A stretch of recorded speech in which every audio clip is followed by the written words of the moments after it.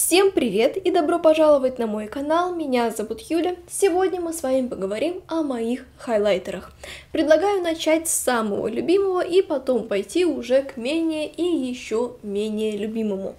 Пожалуй, одним из самых любимых хайлайтеров в последнее время у меня является вот такой вот хайлайтер от бренда Bobbi Brown.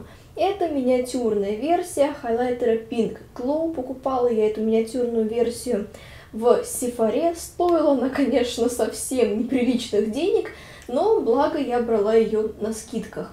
Необычный дизайн и данный хайлайтер интересен тем, что у него красивейший зеркальный финиш, и при этом данный зеркальный финиш смотрится очень натурально, очень естественно. Кожа не зеркалит, как будто бы вы космический корабль, но при этом как ни странно, не подчеркивается текстура кожи. У меня кожа проблемная, соответственно, поры расширенные, и мне приходится искать те самые хайлайтеры, которые не будут подчеркивать некрасивые моменты на моих скулах. И вот этот хайлайтер как раз-таки ничего лишнего не подчеркивает.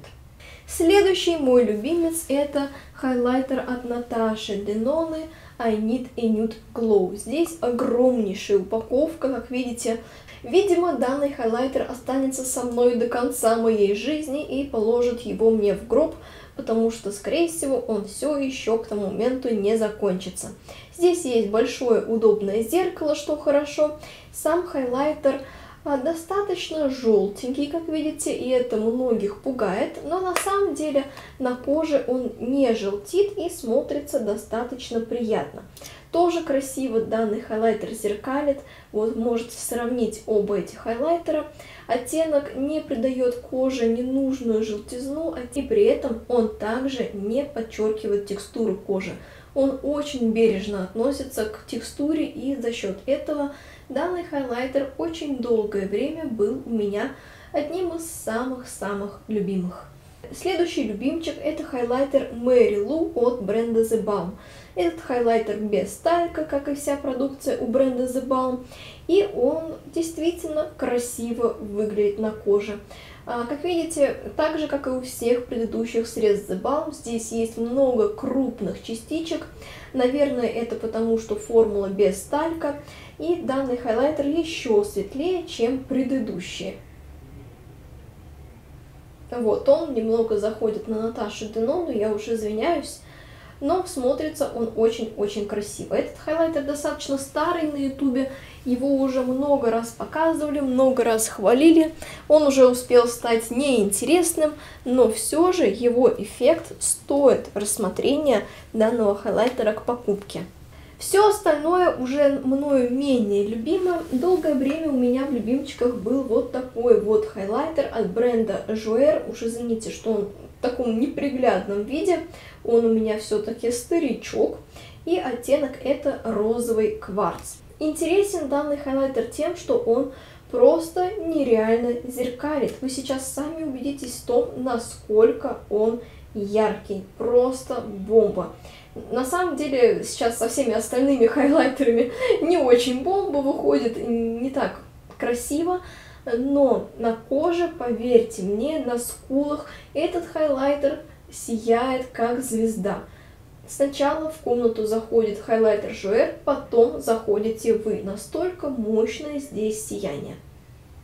Хайлайтер от Бека опал у меня тоже в миниатюре, тоже я его люблю.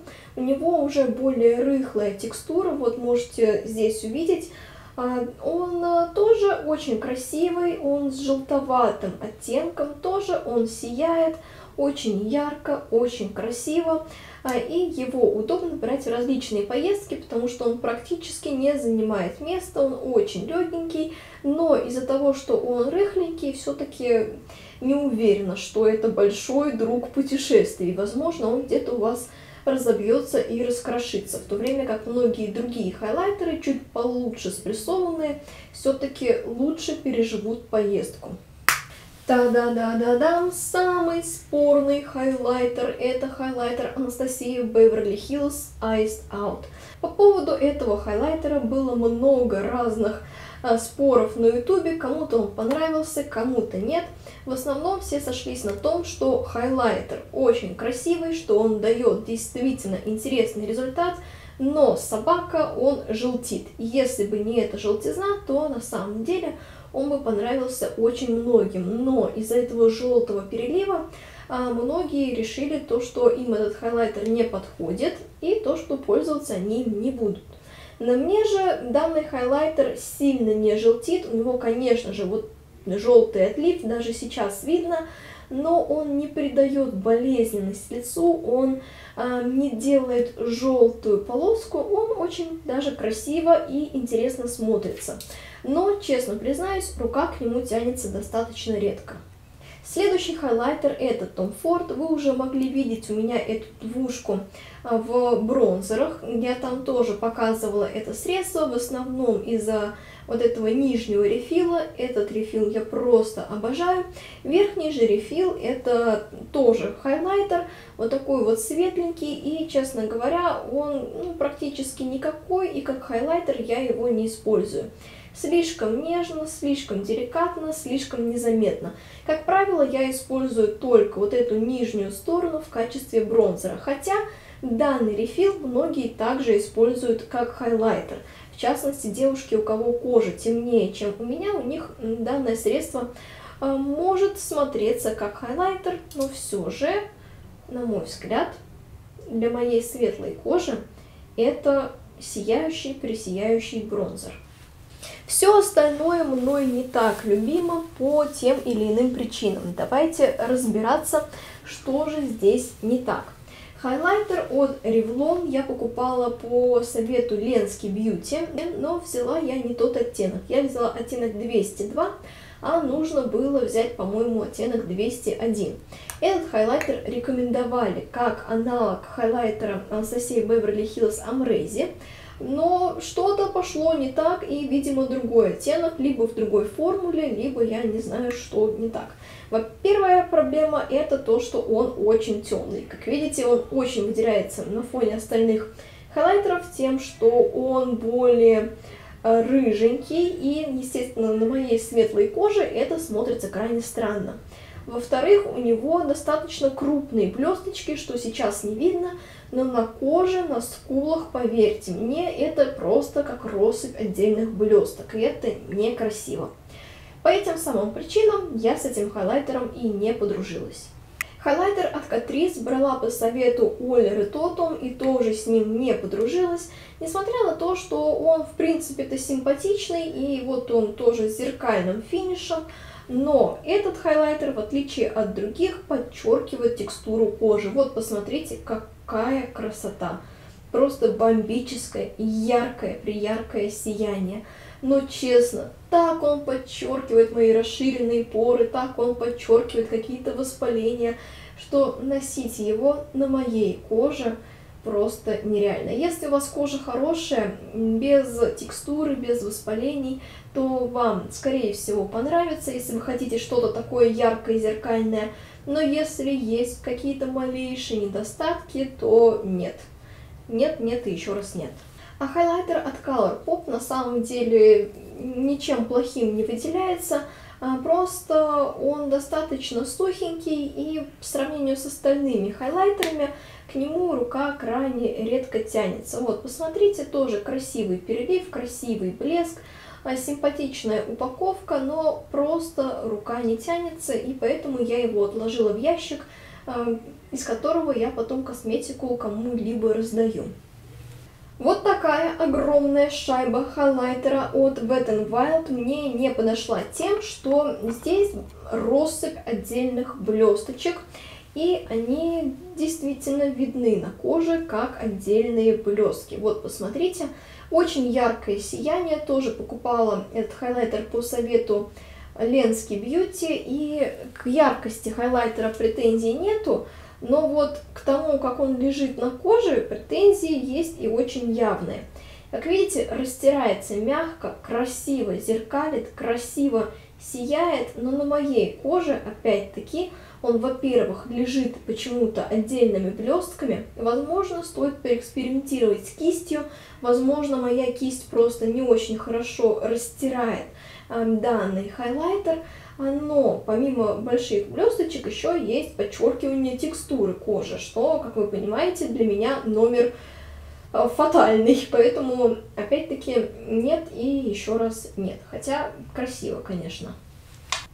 С палеткой хайлайтеров от Dior я так и не подружилась. Я знаю, что многие любят эти хайлайтеры, добавляют их и на глаза, и на скулы. Но на мне их практически не видно. На мне это что-то что-то больше напоминающее отдельные блесточки. Отдельные блесточки я не люблю. И потому никак не могу приложить голову, в общем-то, как их использовать. Очень красивые, как видите, хайлайтеры, классное, интересное сияние. Вот, вот они, боже мой, какие же они яркие, но не знаю, что-то у меня с ними не пошло. На моем лице они не выглядят так красиво, на моем лице они не выглядят так красиво, на моем лице они так не сияют, на моем лице это опять-таки отдельные блесточки, которые практически не видно. Поэтому-то я и не дружу с этим хайлайтером, потому что я не люблю средства, которые практически не видно. Хайлайтер в палетке Шарлотты Тилбери тоже достаточно бесполезный, я уже множество раз говорила. Он деликатный, сомнений нет, и он а, может быть для кого-то даже неплох, но, как видите, во-первых, желтоватый оттенок, и, во-вторых, он настолько деликатный, что очень часто его практически не видно на коже, и за счет этого э, это не мой любимчик. Возможно, для кого-то, кто любит более деликатные полупрозрачные макияжи, это и неплохо. Я даже знаю людей, кто любит эту палетку, и в том числе, кто любит а, конкретно этот хайлайтер, но лично у меня не зашло. А, хайлайтер от бренда Physicians Formula в скорее кремообразной формуле идет. А, она проминается вот так вот, как желешечка. И здесь у меня оттенок, какой же здесь оттенок, не совсем понятно. А, вот он, вот он оттенок. А, в общем, какая у меня здесь проблема? Оттенок я взяла не тот, который хотела. Хотела взять э, цвет шампанского, вышел оттенок жемчужный. И, как видите, вот такое розовато сиреневое сияние. Выглядит это, конечно, интересно и красиво, но не в качестве хайлайтера, сами понимаете. Куда? Ну вот куда вот, вот это вот розовое на себя мазать, я не понимаю. Я пыталась, я честно пыталась с ним подружиться, а, но не пошел он у меня, и поэтому он лежит у меня а, где-то в стороночке и скучает. А, хайлайтер от бренда Alien в оттенке Sunkissed, в общем-то, неплохой, я уже говорила про него в видео про бренд Alien. А, но, к сожалению, просто, наверное, мне не подошел оттенок, и хайлайтер данный очень-очень деликатный. Сейчас вы видите достаточно красивое сияние, а, очень естественное, немного влажная, но, к сожалению, на коже я такого эффекта не вижу. На коже я вообще практически не вижу этот хайлайтер, и поэтому я с ним и не дружу. Хайлайтер от бренда Lux Visage всем хорош, ничего плохого про него сказать не могу. А, достаточно редко использую, потому что рука не всегда тянется к жидким средствам, но в целом хайлайтер очень даже ничего. Стоит он каких-то смешных, откровенно говоря, денег, а эффект дает бомбический. Вот посмотрите, какое зеркало, просто красота. Э, Навер... На... на кожу, к слову, он не так хорошо передается. Это он на свойче так сильно сияет, на коже он становится более деликатным, и если тушевать кистью, то вообще ничего не заметно.